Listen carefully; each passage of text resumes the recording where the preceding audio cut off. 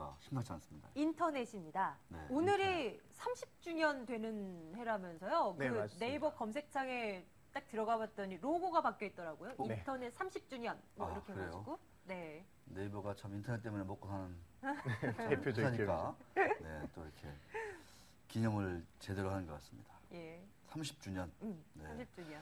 30주년이면 인터넷이 저보다 어리네요. 한 10살 정도. 이렇게 작가님이 적으셨어요. 아, 우리 김고은 근데- 작기자 씨 담당 작가 너무 네, 우리 저 너무 재밌어요. 박근혜 작가님 예. 본인의 나이를 속이고 계세요. 아 이거 여러분들께 보여드리고 싶어요 진짜 네. 앞에다 별표까지 딱 쳐놨네요 30주년이면 인터넷이 저보다 어, 리네요 한 10살 정도. 네. 자 역사부터 들어봤으면 좋겠어요 지난 그러니까요. 30년 동안 우리는 인터넷을 통해서 또 어떤 변화를 겪었는지 차근차근 볼까요? 어, 진짜 이거 중요한 얘기죠, 사실은. 네, 우리 유, 유 반장께서 인터넷보다 10살 늙었다는 소, 소, 그 소식에 멘붕 상태에 빠지셨는데 아니, 늙었다는 게 아니라 좀 그렇다는 거죠. 네, 사실 인터넷 한국에 들어온 게 1982년이에요. 야. 82년도 제가 7, 8년생인데 저보다도 어립니다. 제가 태어났을 당시네요 오, 그렇죠. 네. 네. 그 아버지라고 하시는 분이 이제 정길남 박사라는 분인데요. 이분이 1982년 5월에 서울하고 구미에 두 컴퓨터를 각각 IP 주소라는 걸 연결, 넣어서 그 연결했어요. 이게 처음으로 연결한 거예요. 아, 그러니까 우리나라에서 보통 이제 우편물 보낼 때 주소 있어야 되잖아요. 뭐 여의도 몇 번지 해야지만 네, 네. 가듯이 네. 컴퓨터에도 가려면 주소가 있어야 돼요. 음. 이게 바로 이제 IP라고 하는 건데 IP 주소. 이게 처음으로 이제 주소를 주고 연결하는 방식 자체가 이제 처음으로 이제 한국에 시도를 한 거죠. 그런데 이제 어떻게 되느냐 이 이후에 사실 우리나라 가 굉장히 빨리 발전했어요. 미국보다 인터넷 도입한 게 처음 한 13년 늦었거든요. 그런데 한국에서는 얼마나 빠르게 올라왔냐면 94년에 인터넷이 처음 상용화가 됐고요. 상용화된 지 불과 8년 만에 우리나라에서 초고속 인터넷 인구가 무려 1000만 명 넘어갔습니다. 아. 그 다음에 이제 4년 뒤에는 세계 최초로 와이브로와 HSDPA를 상용했는데 HSDPA 낯설 텐데요. 그냥 휴대폰에 그 3G 뜨는 거 있죠.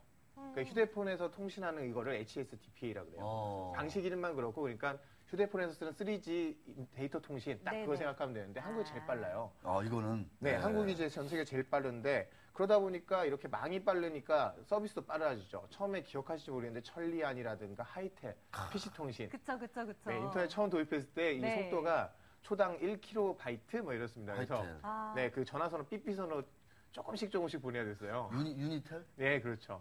유니텔이 지금의 네이버의 전신이다. 이런 얘기 어, 예, 뭐 있, 던데 그 음. 옛날에 그때 만들었던 사람들이 그대로 이제 와. 나와서 이제 만들 그런 전신들 다 그렇게 갖고 있어요. 아. KTH도 네. 예전에 천리안 그러니까요. 기억하시죠? 어. 네. 천리안. 그, 런 서비스가 이제 급속히 발달하면서 PC 통신에서 이제 포털이 등장했고요. 야. 지금 누구나 아는 네이버 지금 시가총이 엄청나죠.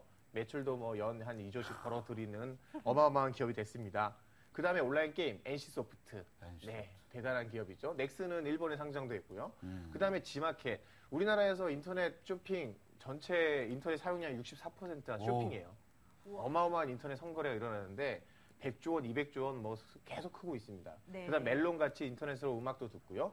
이제는 최신근에는 최 카카오톡 같은 SNS도 등장했죠. 야. 야 이걸 다 돈으로 환산하면 얼마나 될까요? 네, 그러니까? 한국의 인터넷 경제 규모 한번 추산해봐도 86조 원. 86조 원. 네, GDP에서 한77% 정도 돼요. 7%. 그럼 오. GDP에서 7% 차지하는 그런 산업이 사실 별로 없거든요. 네. 없죠. 전 세계에서도 인터넷 비중이 이렇게 높은 나라가 우리나라가 굉장히 특, 특이합니다. 그러니까요. 음. 야 대단합니다.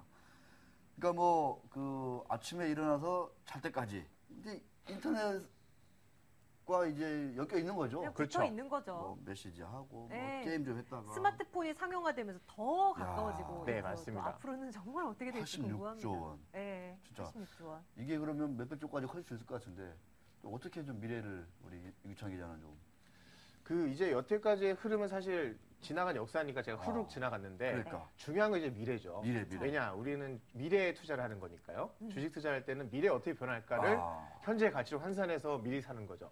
네이버 이렇게 될 줄 알았으면 상장할 때 당연히 사지 않았겠습니까? 그러니까요. 아우. 그런. 것처럼 지금부터는 제가 주목해야 될 부분 이제 몇 가지 포인트를 짚을 텐데 일단 사물 인터넷 뭐 말하면 좀 어려울 수 있겠지만요 한마디로 자동차나 가전제품 모든 게 다 아까 얘기한 그 주소를 가지는 거예요. 음. 예전에 저희 집 없으면은 그 서러운 게 주소도 뭐 어디에 뭐 다시 몇 한 다음에 몇호 이러잖아요. 네. 그런데 각자 이제 자기 집을 갖는 거예요. 냉장고에도 너의 주소가 들어가는 거고 자동차도 주소를 가지는 거예요. 야, 이렇게 되면은 모든 제품이 각각의 인터넷에 연결이 되는 연결이 거죠. 이런 거죠. 네. 이거가 되면 이제 여기서 수혜주가 하나가 나오게 되는데요. 그러니까요. 이제 구글에서 이 무인 자동차도 나오고 삼성카도 나오고 이게 다 이제 IP 주소 달고 다니면 네. 지금은 IP 주소가 IPv4라고 해서요. 네 단위로 해놨어요. 뭐냐면 아. 그러니까 우리 휴대폰 보면 0 011, 017 뭐 해놓고 네. 가운데 자리 세 자리였죠. 근데 010으로 바뀌고 가운데 자리가 네 자리로 네 개. 들었죠. 네. 예전엔 웬만하면 휴대폰 번호 외웠는데 요즘 외우기 힘들잖아요. 힘들어. 그렇게 이제 뭐 갠게 네 자리로 늘린 것처럼 지금은 인터넷 주소가 네 자리인데 여섯 자리로 늘려요. 늘려요. 어. 왜냐하면 모든 다 기기가 다 주소가 필요하잖아요. 네, 네, 네. 그럼 이거 늘리면은 바꿔야 되는 게 소위 이 그 관련된 장비들이나 이런 네이밍 해주는 거 다 바꿔야 돼요. 이걸 야. 누가 하냐면 유비커스라는 회사가 합니다. 유비커스가. 네.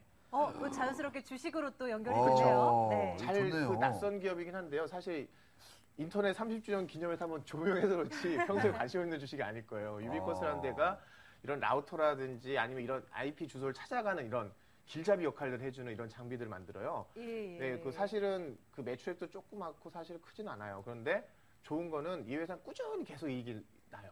음. 한 번도 손해 안 보고 계속 이익이 나고 있는 회사고 유비커스. 이제 IP 본격적으로 이렇게 주소 단위가 네 자리에서 여섯 자리 늘어나는 시기가 되면 네. 이 회사들이 굉장히 많은 장비를 팔게 됩니다. 음. 아. 주가도 굉장히 싸졌어요. 워낙에 관심이 없는 주식이고. 저 지금 화면에 주가 네. 나오고 있는데요. 정말 아유, 쌉니다. 저렇게나 네. 내놓은 상황이에요. 그런데 뭐 네. 이익은 한 한 해 그래도 100억 넘게 내, 내주고 있고요. 시가총액이 비하면 사실 뭐 저는 이런 주식은 사두면 자산 가치로 나쁘지 않다고 그러니까요. 생각해요. 괜찮네요. 다만 섹시하지 않습니다. 그래서 음. 아니, 섹시한데? 인터넷 30주년을 기념해서 제가 조명을 해드리는 거예요. 30년 만에 조명된 된 아주 아. 저평가주입니다. 이런 게 안 섹시하면 어떤 게 섹시합니까? 뭐. 아. 나름 저평가주로 관심만 가져줄만 하고요. 네, 제가 좀 네. 이따 섹시한 거 보여드릴게요. 좀 이따. 종목 대 탐험에서요? 네. 네. 예, 또 다음은 이제 그 사실 사람들이 많이 어려, 어려워하는 클라우드. 클라우드. 아, 사실- 이건 저도 잘 아직은 제가 사실 막 제일 싫어하는 게 네. 이런 용어예요. 왜냐면 네. IP, IT가 차라리 어렵지 않은데. 말이 항상 어려워, 어려워요. 말이. 진짜. 왜 그러냐면 플랫폼 사업 들어보셨죠? 플랫폼 사업. 플랫폼 비즈니스 SK 그 플래닛이라는 거 만들었어요. SKT에서 음. 분사했는데 SK 플래닛이 뭐 하는 회사에 가면은 플랫폼 사업 합니다 그래요. 그 SK 뭐야. 플래닛 플랫폼 사업 누가 네. 알아먹어요. 그죠? 그래서 제가 쉽게 설명해 드리면 뭐냐면 플랫폼 사업은 부동산 임대업이다 생각하시면 돼요. 아. 건물 이만한 걸 져놨어요. 그러면 1층에 이제 카페 들어오고요. 2층에 예. 레스토랑 들어오고 들어옵니다. 그러면 전 뭐 받아요? 건물주는 임대료 받죠. 임대료 네. 받죠. 근데 얘네가 장사해서 아무리 잘 되든 저는 그냥 임대료 받아요. 음. 그게 플랫폼 사업이에요. 그러면 제가 착한 임대업주면 그냥 정상적으로 임대료만 받으면 되는데 옛날에 좀 못된 기업들이 어떻게 했냐면 어 장사 잘 되는구나 쫓아내고 제가 해요. 어 이거 장사 잘 되면 음. 쫓아내고 제가 해요. 네. 그리고 임대료 막 올려요. 그러니까 옛날에도 플랫폼 사업이 없었던 게 아니라 예전에는 이제 태- 통신사들이 폐쇄적인 인터넷 이용해서 이런 식으로 장사했어요. 그래서 욕을 많이 먹었죠. 아. 그런데 이제는 플랜이 만들면 뭐라고 그러냐면 아, 이제는 안 그럴게. 나 공명정대하고 난 깔끔하게 네, 네. 난 요만큼만 벌 테니까 우리 상생하자라고 하는 게 플랫폼 사업입니다. 네. 망을 빌려준다는 그렇죠. 얘기예요? 아주 그냥 빌- 저는 장- 인터넷에 장사하는 거예요. 그렇죠. 인터넷에다가 음. 점 내주고 네가 해라. 나는 네네네. 네가 벌면 일종의 수수료만 받을게. 이게 플랫폼 사업이거든요. 설명 들으면 쉽잖아요. 그러니까요. 참 이기찬 기자 설명 잘하시죠. 네. 아, 이렇게 똑같이 쏙쏙 이제 제가 들어오니까? 클라우드 네. 쉽게 설명해 드리면 음, 제가 아까 얘기한 걸 보면 이제 모든 게 다 인터넷에 연결되잖아요. 그러니까요. 그렇죠. 근데 인터넷 연결되는 게 뭐만 연결되냐면 하드웨어만 연결되는 게 아니라 소프트웨어도 연결돼요.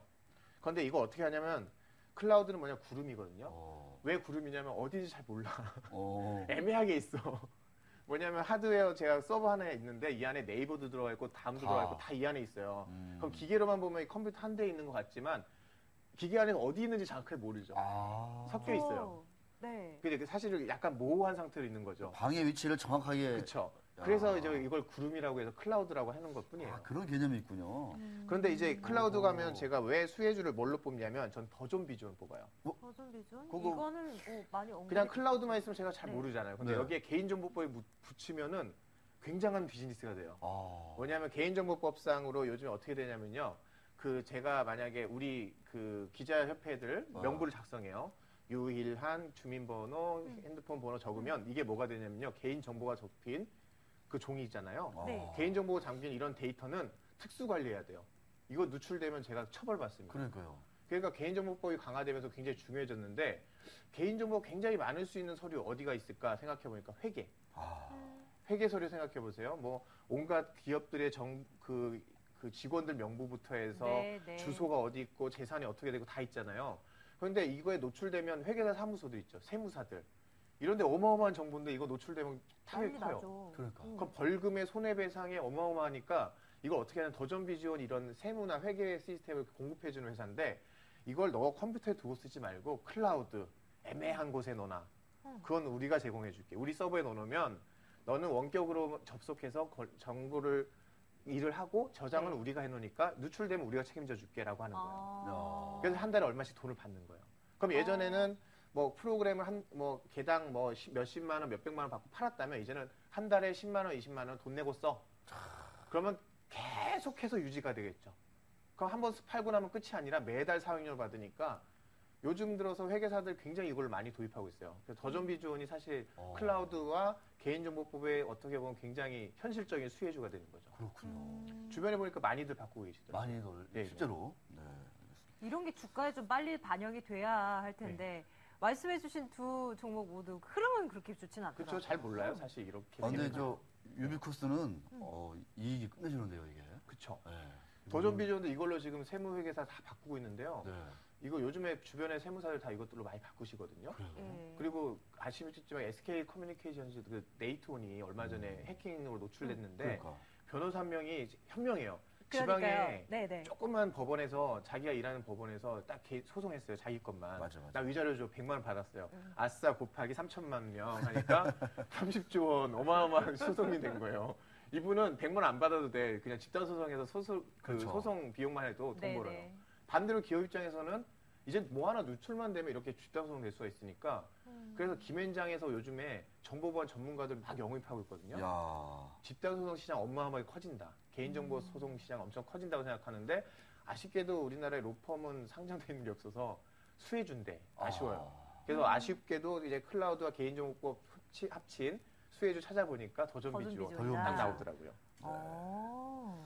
아니 더존비 지원, 더존비 지원은 이제 한번 많이 시세가 올랐다가 네. 꺾인 다음에 빠졌으니까 더 좋은 것 같고. 네. 그죠? 빠진 다음에 실질적으로 실적이 나면 사실 또 다시 오르거든요. 그러니까 테마가 탈때 올랐다가 네. 뭐야 하고 빠져요. 그런 네. 다음에 실제로 실적이 나면 네. 다시 올라요. 다시 이 올라. 종목은 재작년쯤인가 테마로 한번 묶여가지고 확 올랐었던 네. 적이 생각이 나요. 뭐 근데 IT 업종이 아 네, 맞아요. 그렇죠. 맞아. 네 도입된다고 뭐 맞아요. 해가지고. IT 네. 업종이 다 그래요. NHN 상장할 때팍 뛰었어요. 음. 아. 와 미래가 저- 밝아. 근데 좀 지나니까 근데 또 당장 돈 못? 뽑잖아. 네. 그러니까 꺼져요.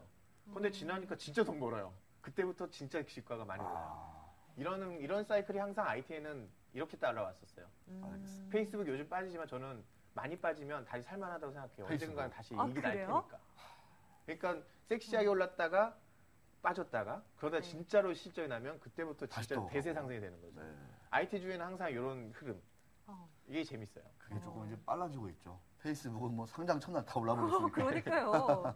그래서 미국이 좋죠. 화끈합니다. 네. 아주 상한가 제한폭이 없어서. 아니 뭐 옵션 거래되니까 또 좋잖아요. 개별 주식 옵션 되니까 참 좋고. 자, 어쨌든 이제 뭐 새로운 기기들이 너무나 이제 빠른 점점 기간은 짧아지고 있어요. 속속들이 진짜 신제품 나오고 어떻게 있고. 변할지 누가 예, 예상하겠습니까? 네. 신기술 나오고 있고 왜 예전에 그거 영화 보셨어요? 마이너리티 리포트라는 맞아요, 영화 맞아요. 있었잖아요. 정말 최첨 단위 기술이 모두 도입된 그 영화였는데 그 영화가 현실화될 것으로 톰 이제 크루즈. 보이는 맞습니다. 상황입니다. 네. 문제점도 있을 거 아니겠어요? 네. 그것도 좀 체크해봐야 될 것 같은데. 사실 뭐뭐그 있을까요? 부작용 많은데 네. 저는 투자 관점에서의 부작용 현재 분명히 상황이 이렇게 돼요. 근데 이렇게 하니까 사- 인터넷 사용량 엄청 늘잖아요. 근데 망은 망은 아직도 10년 전에 깔았던 거, 5년 전에 깔았던 거 그대로 쓰고 있어요. 망.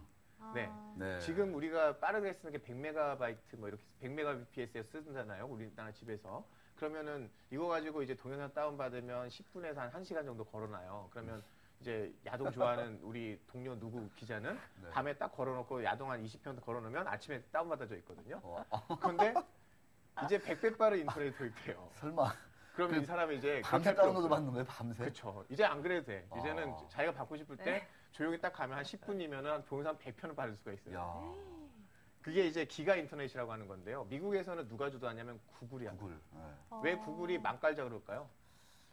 망 깔아 놓으면 자기 서비스를 이용하거든요. 다 하니까, 네.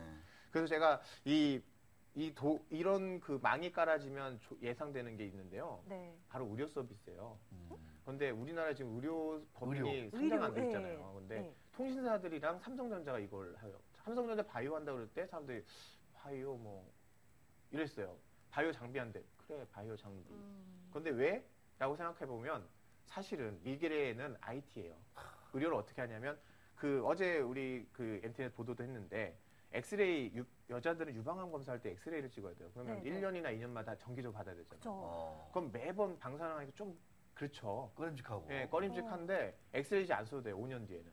어떻게. 뭐냐면 IT기로 전파를 이용해서 하거든요. 어. 근데 와. 이거를 네. 장비도 되게 싸요. 그러면 이제 어떻게 하냐면 그 장비가 집집마다 보급이 돼요. 그러면 뭔가. 내가 그거 다쳤어. 그러면 이 저기다 딱 전파를 쏘여요. 그러면 이 네. 엑스레이처럼 내 사진이 찍히면 이 데이터가 바로 병원으로 가요. 이야. 그러면 띵동 네. 하고 오면은 의사 선생님 보시고 어 이거 이런데라고 처방 주시고 야. 그러면 이런 게 데이터가 근데 이런 엑스레이 한 장 어마어마한 데이터 그리고 내 음. 의료 정보 그리고 내 전신 스캔을 하는 이런 정보들이 다 이제 기가 인터넷이기 때문에 실시간으로 다 될 수 있어요. 대단하군요. 우와. 이게 바로 융복합이라고 하는 IT의 새로운 먹거리라고 하는 거죠. 네. 음. 그래서 통신사들 요즘 다 이거에 목, 목숨을 걸고 뛰어들고 있어요. 어. 그래서 SKT, KT, LG 텔레콤, LG U 플러스 모두 다 지금 네. 의료 서비스 하겠다고 지금 해- 시작을 했고요. 그 기가 인터넷 관련해서는 뭐 구글 말고는 또 뭐 뭐 없나요? 좀이 주목하는? 빅데이터인데요. 사실 구글이 왜이 이득을 보냐면요.